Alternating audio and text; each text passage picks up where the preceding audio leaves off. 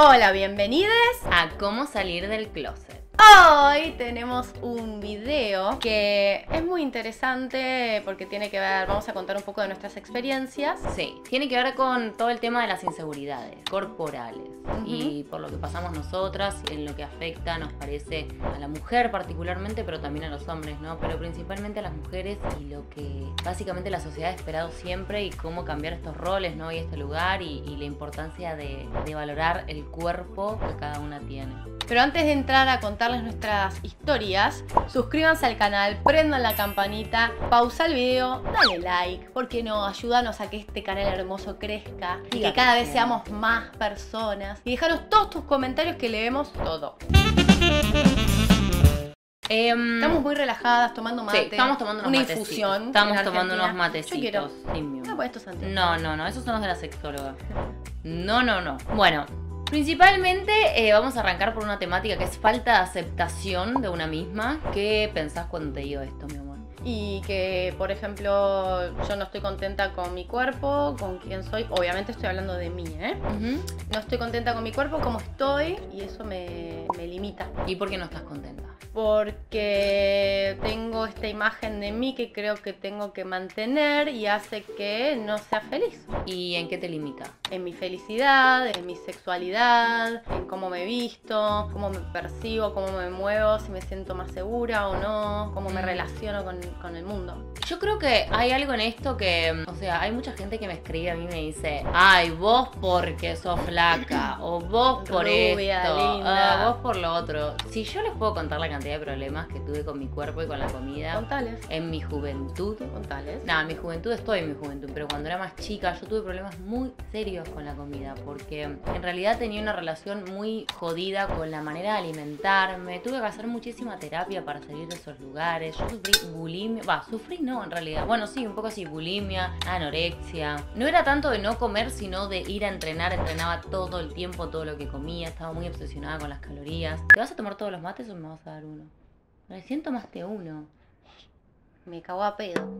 Y hoy les digo que Sofía me conoció, ¿cuánto pesaba? 8 kilos No, menos que ahora. Estábamos las dos muy flacas. Muy flaca. Yo no estaba pasando por un buen momento, me había recién separado, después una relación súper larga. Lo único que hacía era fumar y comer cuando tenía hambre, o sea, era un desastre. Estaba muy flaca, muy mal. Y vos estabas muy flaca también, eras pura costilla. Ay, sí, yo Hacía muy flaca. todos los días iba al gimnasio, no comía Comía, pero no comía. no comías cantidades grasas, te cuidaba mucho con lo que ella ingería y también esto, no disfrutabas la comida. Totalmente. No disfrutaba la comida, no disfrutaba el momento de comer. Me estaba perdiendo de muchísimas cosas, pero principalmente me estaba perdiendo de mí. Creo que fueron muchos años donde pensé que iba a encontrar la tranquilidad y la felicidad siendo flaca o teniendo el cuerpo perfecto. Lo que la pasa es gente que me iba también- a querer más. Bueno, pero lo que vos estás diciendo para mí está íntimamente relacionado con la publicidad tradicional, que nos ponen una imagen de mujer que debemos ser o tenemos que ser para alcanzar esa felicidad que vos estás hablando. Entonces hay que tener mucho cuidado para mí, si hay alguna mujer ahí o hombre que esté viendo esto, con el tema de la comunicación. Creo que lo importante es la diversidad y la aceptación de que todos, como vos sos, sos perfecto. Exacto. Eso es re importante. Además, Perfecta, perfecte. Tiene que ver con una inseguridad muy grande que uno tiene, me parece, el miedo al rechazo. Vos pensás que no te van a rechazar o que todo el mundo te va a amar por ser divina, por tener el cuerpo perfecto. Lo que es perfecto para vos, porque en realidad tenés un cuerpo perfecto, pero llega un momento que vos seguís adelgazando, seguís perdiendo kilos o estás cada vez más fit o más.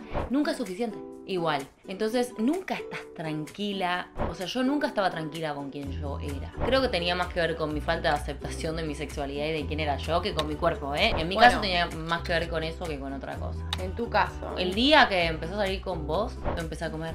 Es verdad. Sí, Ah, pero, pero también porque a mí me encanta la comida. Amo. Para mí comer es un placer. Disfruto el sentido del gusto. Me encanta. Es algo que tengo muy desarrollado. Y creo que en ese placer yo traté siempre de que vos disfrutes comer. Porque es hermoso. Me lo retransmitió a eso. Ay, por favor. Nos te escribe tu ex. La ex. Otra vez escribe la ex. Bueno. Eh, no, para, esto me parece re importante. Ella me transmitió todo eso y también tuve algo muy lindo en el medio que fue, hice muchísimos años de terapia, sin entender. Creo que la terapia me ayudó mucho a conocerme a mí, pero desde el día que yo volví a estar con Sofía, nunca volví a tener un pensamiento ni siquiera de... Sí, por supuesto que hay partes de mi cuerpo que digo, uff, esto podría estar mejor. O, uff, no sé. eh, Pero estás más tranquila. no, no, no solo que te has tranquila, sino relajado. que no volví a tener un pensamiento negativo y que fuera en detrimento de mi salud, porque eso es lo más grave. Las consecuencias de salud que tiene que uno no se imagina. La falta de absorción de determinados alimentos, el no tener una dieta, exacto, el no tener una dieta completa, el no tener una dieta variada, Balanceada. balanceada, te detona el cuerpo y te lo detona en serio. Hoy capaz sos joven y no te das cuenta, pero espera unos añitos y te vas a empezar a dar cuenta Y mis- ni siquiera espero que llegues a darte cuenta, sino que puedas frenar y aceptarte como sos y ya. total. ¿no?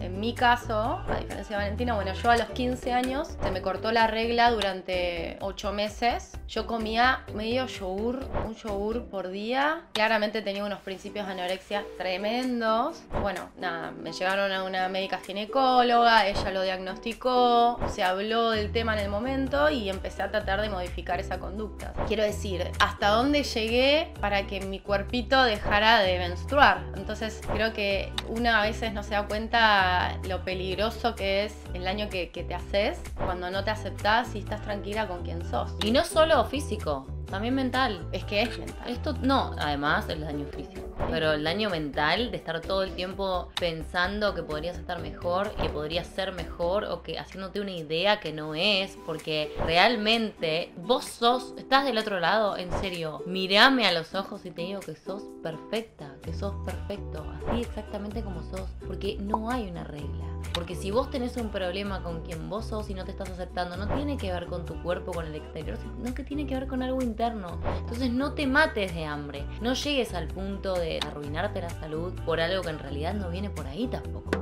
¿Cómo te afecta el no aceptarte eh, o el sentirte insegura con tu cuerpo para la sexualidad? Eh, pará, quiero agregar algo. El otro día hablé con una chica que es discapacitada, que su cuerpo no es el cuerpo convencional, y hablábamos de esto de las inseguridades que te genera, porque no es solo, realmente digo, obviamente que es otra cosa totalmente distinta, pero vamos a intentar, y las que están ahí, chicas que tengan alguna discapacidad de ese lado, eh, escríbanos abajo, eh, que estamos muy interesadas en hacer un video sobre eso además, ¿no? Porque es muy interesante, no las queremos dejar afuera, es muy importante lo que tienen para decir y me parece que hay que visibilizarlo también, eso aparte. Quiero hablar esto del tema de la sexualidad y el sentirte mal con tu cuerpo. Es durísimo. Contá, vos, bueno, vos, vos lo tenés bastante visto. Mira, sí, sí. Yo- bueno, vos me has ayudado un montón. Yo hay momentos, por ejemplo, tengo unos kilitos de más o de más para mí, que son de más para mí, donde yo no me siento segura con mi cuerpo y qué sé yo, y me empiezo a tapar, empiezo a no a alejarla a ella bastante, y ella siempre conmigo fue muy, muy hermosa de decirme, yo te amo toda como sos, y ya, fin. Y eso a mí me, me retoma la seguridad de poder estar tranquila y que si ahora tengo unos kilitos de más, bueno, tengo unos kilitos de más, y si después quiero ir a, no sé, a hacer gimnasia, que también no solo para bajar de peso, sino para tener una salud linda, estable. Por ejemplo, yo ahora vuelvo a jugar al fútbol y corro y dejé de fumar y siento mis pulmones, tengo más aire, me siento mejor, me siento más vital. Soy una mujer hiperactiva y necesito hacer gimnasia, necesito gastar esa energía porque después me siento mejor. Porque si no, mi cabeza está todo el tiempo. Eso soy yo. Pero bueno, en resumen me pasa eso. Cuando estoy insegura no vivo mi vida plenamente. Y además, realmente no vale la pena. Quiero que este video tenga algo, además de todas nuestras historias personales, que bueno, siempre podemos ahondar, siempre hay más para contar. Yo tuve muchos años de terapia, hice muchas cosas para salir de eso y la pasé bastante mal con el tema de la comida, pero no era el tema de la comida, era conmigo misma y mis inseguridades, para conmigo misma en serio. Pero al margen de todo esto que les estamos diciendo, hay cuatro principios fundamentales para empezar a salir de ese lugar horrible de inseguridad con tu cuerpo que no existe y no vale. Y se lo digo a Sofita también, porque como verán también tiene algunas inseguridades con su cuerpo al día de hoy. Que son, primero, número uno, rodeate de personas que te quieran como sos. Es muy importante porque hay muchas relaciones donde conozco casos donde la persona que tenés al lado te dice, estás gordita, un kilito de más. Lo mato, la mato, le mato. Eso está mal, Muy es mal. mentira, eso es mentira. Creo que cada uno sabe cuando está bien, cuando tiene un kilito de más, un kilito de menos, y cada uno sabe qué hacer con eso, pero tampoco hay que ponerle tanto peso, ¿no?